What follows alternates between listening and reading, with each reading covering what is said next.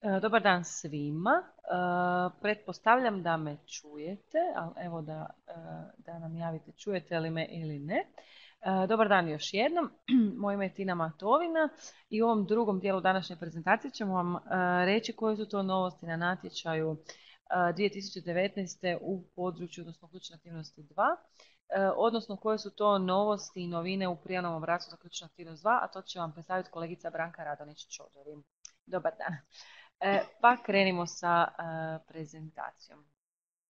E, što se tiče novosti, odnosno što se tiče samih, samog sadržaja prezentacije, Prvo ćemo reći koliki je proračun za 2019. i što se tiče ključne aktivnosti 1 i ključne aktivnosti 2, ali ukupnog područja strukovnog obrazovanja u programu Erasmus+. Proći ćemo najvažnije izmjene vodiča, bilo one horizontalne, bilo iz područja strukovnog obrazovanja i osposobljavanja odnosno najavit ćemo radionice koje nam tek predstoje i reći koji su rokovi za 2019. Što se tiče proračuna, konkretno za ključnu aktivnost 2, e, proračun je e, sličan, odnosno jednak kao proračun za 2018. To je 912.131 euro. Tako da e, ne morate se obeshrabriti. Svake godine je bilo ovo dovoljno proračuna. Tako da definitivno čekamo i očekujemo vaše prijave za ključnu aktivnost 2, bilo za razmjenu dobre prakse, bilo za razvoj inovacije. Što se tiče nekakvih izmjena programskog vodiča u ključnoj aktivnosti 2, slična je situacija kao u ključnoj aktivnosti 1, a to je da tih izmjena nema puno, što je dobro s obzirom da je e, predzadnja godina e, provedbe programa Erasmus+. Prvo je bitno imati na umu informaciju za prijavitelje iz Ujedinjenog kraljevstva. Bitno je znati da će oni za vrijeme trajanja cijelog projekta morati ispunjavati kriterije prihvatljivosti. Jedan od kriterija prihvatljivosti je da su programska zemlja. Ukoliko se to promijeni za vrijeme trajanja projekta, moguće da će doći do određenih promjena. Bilo da će onda oni možda se morati povući iz projekta ili će možda ostati u projektu, ali neće biti njihova sredstva, odnosno troškovi od tog trenutka od kad su postali neprihvatljivi za sudjelovanje u programu i projektu. od tog trenutka ti troškovi moguće više neće biti prihvatljivi, odnosno kako mi volimo reći eligible. Više informacija o ovome zasigurno će biti poznato kada pregovori dođu do nekakve razine da je e, pregovori sa, znači, vezano za izlazak Ujedinog kraljevstva iz Europske unije, kada te informacije budu službenije, a i kada budu možda malo i jasnije. Svakako vas upozoravam, ukoliko ćete uključivati ove partnere u projekt, a nema potrebe da ih zbog ovoga ne, isklju, ne uključujete, odnosno da ih isključujete, znači možete surađivati s njima svakako, bitno je samo da imate na umu da bi moglo do nekakvih promjena doći. Što se tiče prijavitelja iz Srbije, kod njih je malo e, ljepša vijest, a to je da Srbija od 1. siječnja 2019. postaje punopravna sudionica programa, odnosno programska zemlja, što znači da možete bez ikakvih poteškoća i dodatnih obrazlaganja u samom prijavnom obrazcu surađivati e, sa partnerima iz Srbije, odnosno e, uključivati ustanove institucije iz Srbije u svoje projekte u ključnoj aktivnosti 2. Kada govorimo o nekakvim izmjenama u području strukovnog obrazovanja i osposobljavanja za ključnu aktivnost 2, e, Prva stvar je ono što, su, što je dodano u vodiče, to je da e, je jasno naznačeno kako strukovno obrazovanje i osposobljavanje u kontekstu Erasmus Plusa uključuje početno i nastavno strukovno obrazovanje.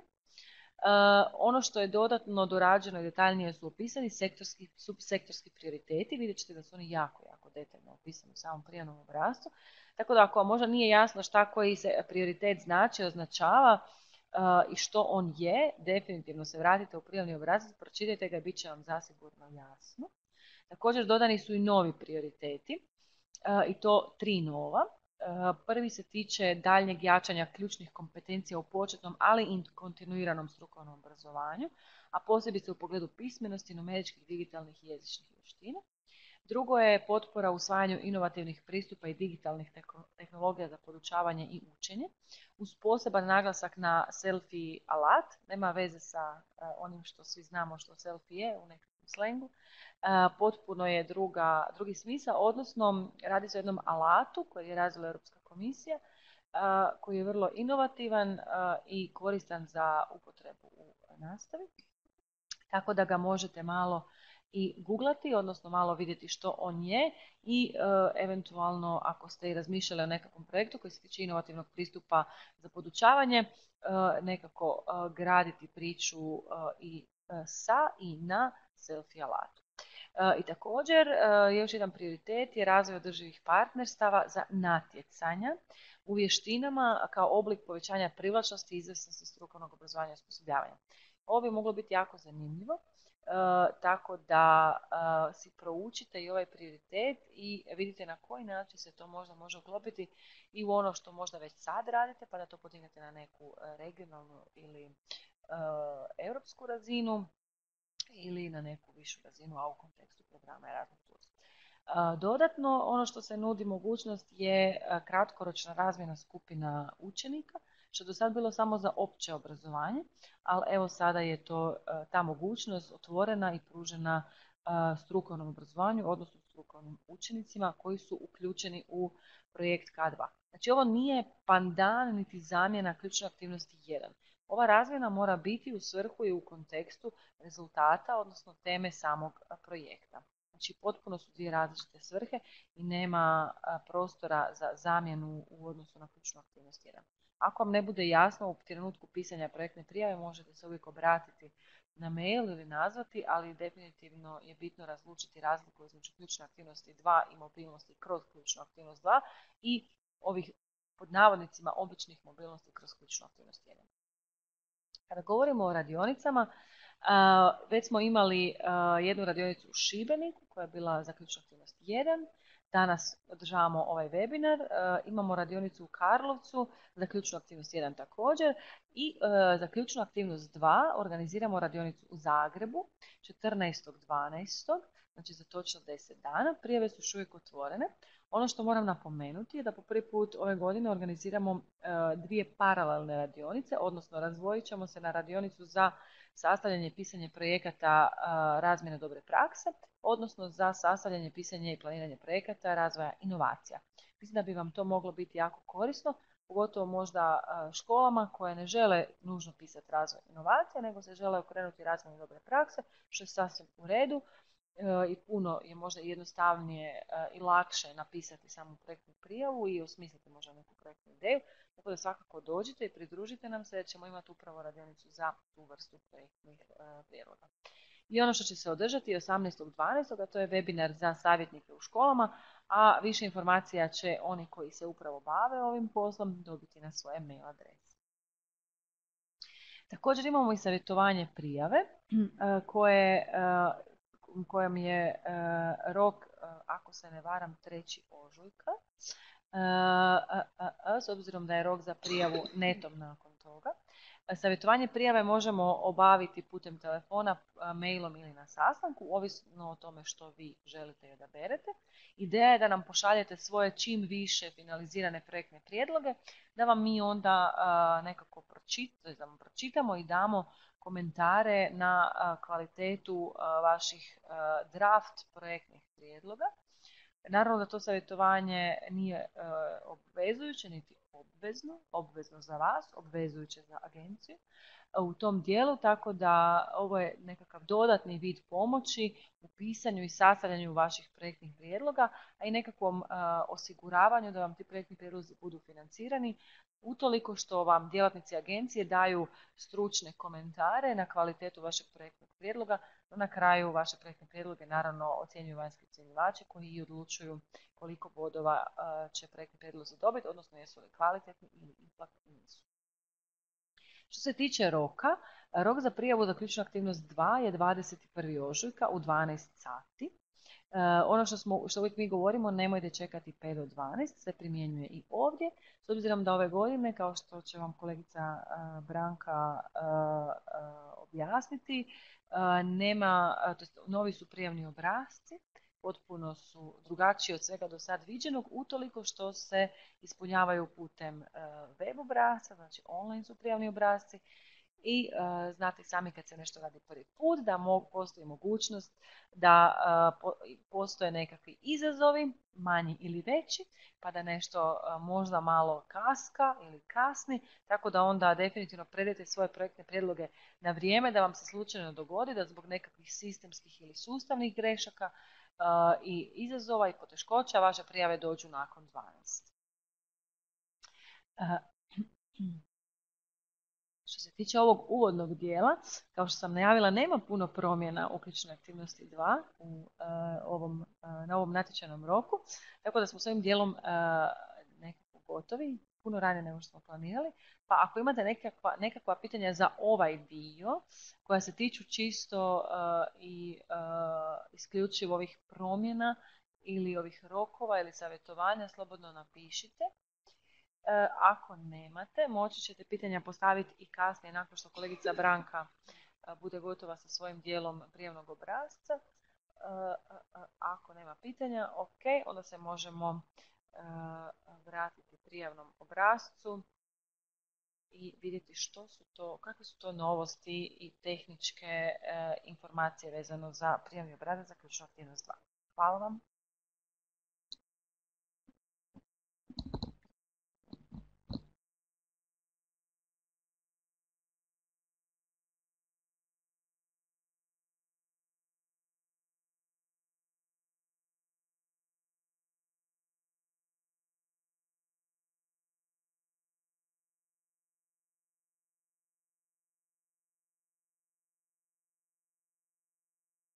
Dobar dan. Kao što je kolegica i najavila, u ovom dijelu prezentacije bavit ćemo se samim prijavnim obrazcem koji je ponešto drugačiji u odnosu na prethodne godine s obzirom da se radi o online e, obrazcu. Što se tiče obrazaca, oni su vam dostupni u natječajnoj dokumentaciji za koju smo rekli da se nalazi na našim mrežnim stranicama pod sudjelovanje, zatim obrazovanje i osposobljavanje, zatim odabirete područje obrazovanja za koje se prijavljujete, to je dakle u ovom slučaju strukovno obrazovanje i osposobljavanje. I dakle tu vam se nalaze sva natječajna dokumentacija koja je relevantna za ovaj e, poziv. Tu su, dakle, kao što smo i rekli, i sam vodič kroz program Erasmus Plus i svi prijavni obrazci. Također se ovdje nalazi i dokument u kojem vam je objašnjen proces prijave i dodatne upute kako ispuniti elektronički e, obrazac. E, ovaj obrazac e, koji se tiče uputa, dakle njemu možete pristupiti na poveznici koja se nalazi na našim mrežnim stranicama i dakle tu vam objašnjava određene korake, kao što smo rekli s obzirom da morate imati EU login račun za pristup za pristup prijavi. ovdje će vam se nalaziti i određene upute na koji način izraditi taj račun i na koji način zapravo započeti e, s procesom e, prijave. Dakle, poveznica na sam prijavni obrazac nalazi se ovdje. Odabrat ćete ključnu aktivnost 2. Dakle, kao što sam rekla, ovdje se nalaze svi prijavni obrazci koji se odnose na područje strukovnog obrazovanja i osposobljavanja, dakle ključna aktivnost 1 i ključna aktivnost 2. i ključna aktivnost 2. Dobro, s obzirom da ne javljate ništa, onda pretpostavljam da se sada sve vidi. Uh, klikom na Home button će vam se pojaviti sve prijave koje ste do sada ispunjavali. Um, ovdje vam je prikazan dakle, broj dana koji još imate do završetka uh, natječaja. I u ovom izborniku nudi vam se mogućnost ili editiranja prijave ili dijeljenja prijave ili brisanja prijave. dakle, na prijavu možete ući ukoliko ste ju već počeli ispunjavati na ovaj način ili ukoliko još niste počeli ispunjavati, dakle tada ćete odabrati među opportunities, vocational education and training i tada odabrati ključnu aktivnost 2 klikom na apply.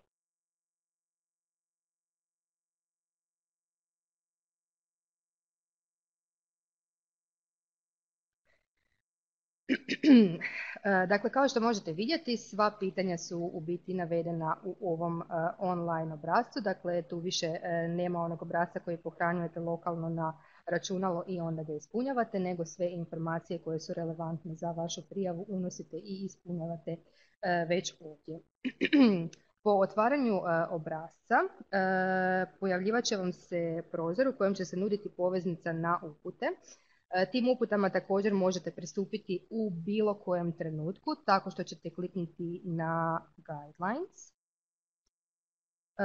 Dakle, guidelines su određene tehničke upute koje vas vode kroz neke oznake koje će se nalaziti u samoj prijavi i koje vam mogu biti u pomoći pri pri identificiranju e, dijelova prijavnog obrasca, odnosno nekih eventualnih e, pogreški ili upozorenja koja vam se e, javljaju pri ispunjavanju tog obrazca. Ono što je bitno za istaknuti je da se obrazac automatski sprema otprilike svake dvije sekunde, tako da iz tog razloga nemate nikakvu opciju save ili sličnu opciju kojom biste vi sami spremali podatke, nego to obrazac automatski e, čini u navedenom e, vremenskom periodu.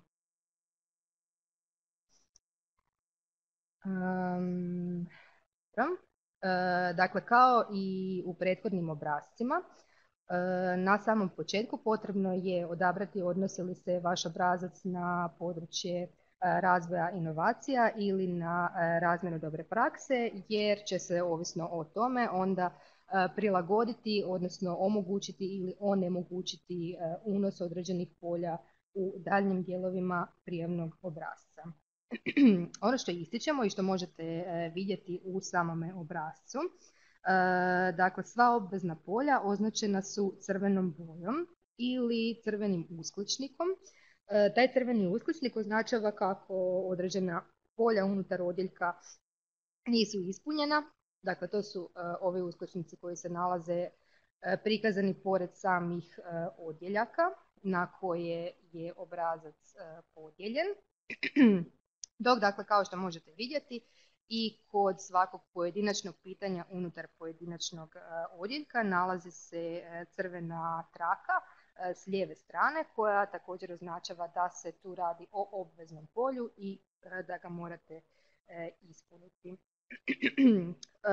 ono što ističemo je da crveni uskličnik pored odjeljka može označavati uz ovo već prethodno spomenuto kako neko polje nije ispunjeno i kako nisu poštivana neka od pravila programa, a ista logika primjenjuje se i na ovu crvenu traku unutar pojedinačnog e, pitanja. E, tako primjerice pri odabiru datuma početka projekta, ukoliko kao datum početka stavimo neki datum koji ne spada u 2019. godinu, nego primjerice u 2020. godinu. Sam obrazac će vam izbaciti poruku iz koje je e, vidljivo koje pravilo je postavljeno e, za unos ovoga podatka, pa će vam tako izbaciti informaciju da dakle datum početka projekta mora svakako biti unutar kalendarske godine na koju se natječaj odnosi, što je u ovom slučaju dakle 2019. godina. Kada odaberemo neki od tih datuma, obrazac miče onu grešku koja vam se prethodno izbacila i možete nastaviti s ispunjavanjem teksta.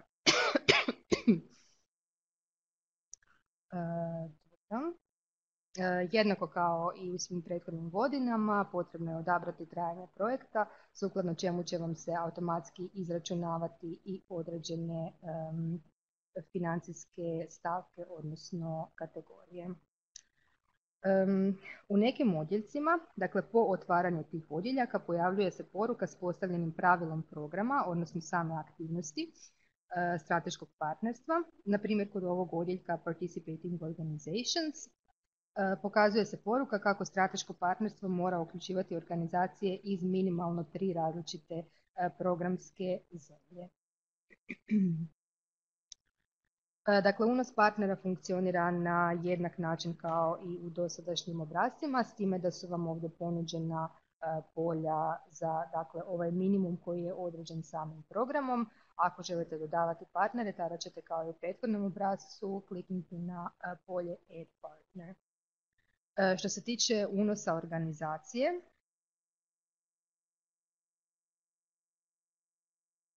Dakle, time što u, ovo polje unesete pik, automatski će vam se povući podaci o organizaciji e, na koju se taj pik e, odnosi. E, klikom na ovo polje u kojem se nalaze tri vodoravne crte, nudi vam se opcija ili View Organization Details ili Refresh Organization Data. također podatke možete vidjeti i unositi na način što ćete kliknuti na sam naziv organizacije u pitanju. Kao što vam je već poznato, određeni podaci ne mogu se mijenjati ovdje, dakle to su ova polja koja su vam označena svjetlo-sivom bojom. To su oni podaci koji, koje je potrebno promijeniti u participant eh, portalu.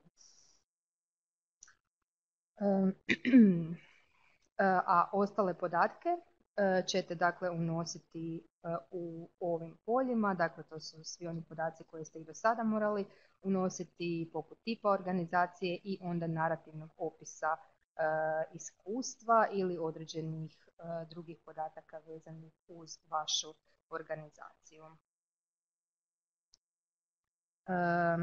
za partnerske organizacije to funkcionira na jednaki način, pa evo primjerice onda možemo unijeti i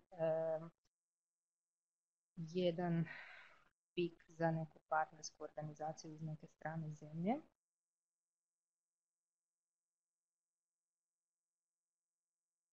Dakle, tu smo onda dobili podatke i te organizacije.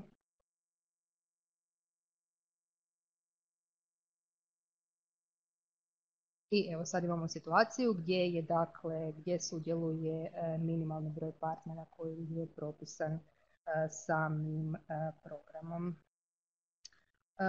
Što se tiče brisanja partnerskih organizacija, dakle s obzirom da trenutno imamo upisan minimalni broj partnerskih organizacija koje morate imati da bi vam projekt zadovoljavao e, formalne uvjete postavljene pravilima programa. E, nigdje vam se ne nudi opcija e, delete.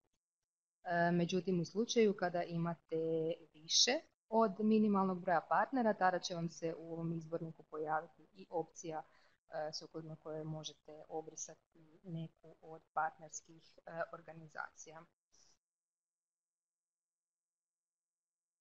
Ukoliko pristupate brisanju partnerske organizacije, naravno da vas obrazac prije toga e, upozori i izbaci vam upozorenje da će se svi podaci koje ste do sada unijeli onda o toj organizaciji trajno opisati.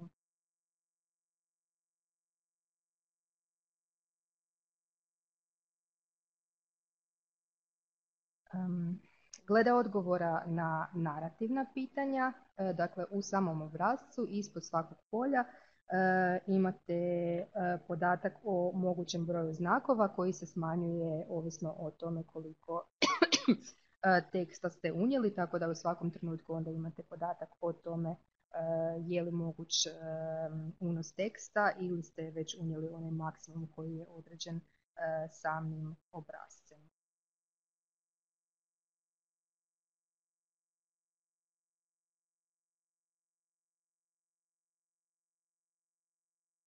Što se tiče dakle, odjeljka management, e, kao što možete vidjeti, ovdje su vam se e, u samom obrazcu već povukli podaci o tome koliko iznosi iznos financijske potpore za tu financijsku stavku. Dakle, on se računa po broju partnerskih organizacija i ovisno o trajanju projekta tako da je obrazac koncipiran na način koji možda predstavlja logičniji slijed e, za same prijavitelje gdje dakle je odmah uz samu aktivnost povezan i dio proračuna, a ne kao u prethodnim obrascima gdje su se dakle prvo narativno opisivale određene aktivnosti, te onda bi se u pravilu tek na kraju unosio i sami proračun.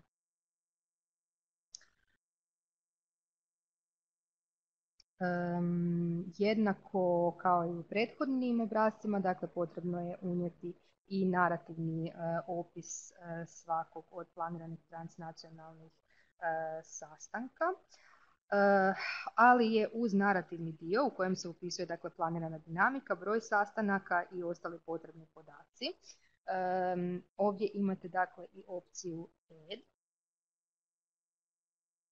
nakon što ste kliknuli na opciju Add, možete ići ili na opciju Details ili na opciju Delete. Opcija Details omogućava vam onda unos svih pojedinosti koje se odnose na određeni sastanak, dakle od samog vremena u kojem se taj sastanak planira, do broja sudionika, do same udaljenosti, odnosno distance benda. I temeljem svih tih podataka koje ćete tu unijeti će se automatski računati i financijska potpora.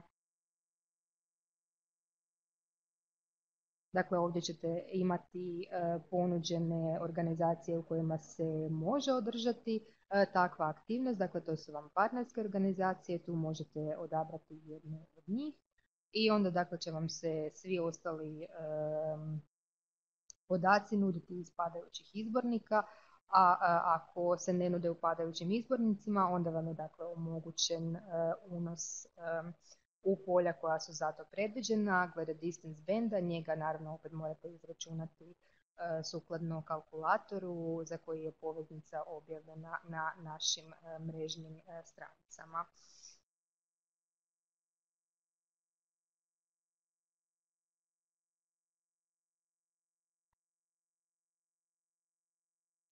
I dakle, sada ovisno o tome, odnosi li se vaš projekt na